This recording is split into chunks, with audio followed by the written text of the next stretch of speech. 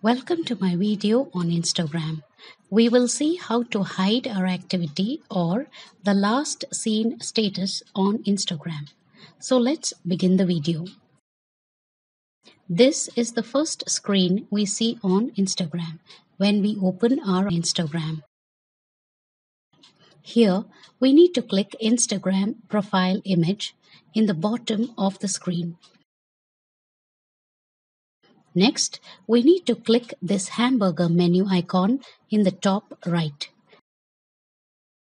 And again, in the pop-up menu list, we have to click Settings and Privacy tab.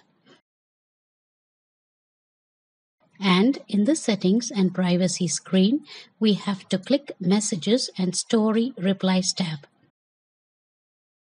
And here you can see we have Show Activity Status option in the screen. We can click on it, which will take us to this page where we have to click the toggle button besides Show Activity Status and deactivate it. By default, it's active.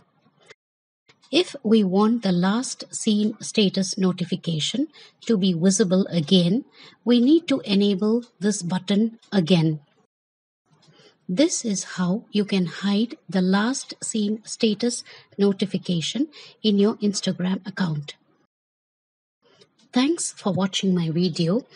To get video updates like this, please do subscribe to my channel and click the bell icon.